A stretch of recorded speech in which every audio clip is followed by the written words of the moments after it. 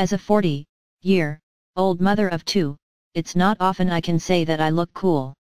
I'm standing in a FFF freezer in minus 21 degrees Celsius in a business park in West Yorkshire.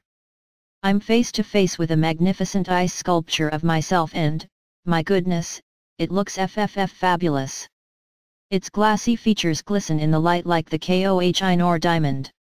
The features are fluid, the curves smooth and as for my complexion well, it's never been so clear. No wonder ice sculptures were all the rage for this season's parties. This incredible life-sized statue is the work of freelance ice artist Asanga Amerasinghe, who has been creating gorgeous glacial designs for more than 20 years.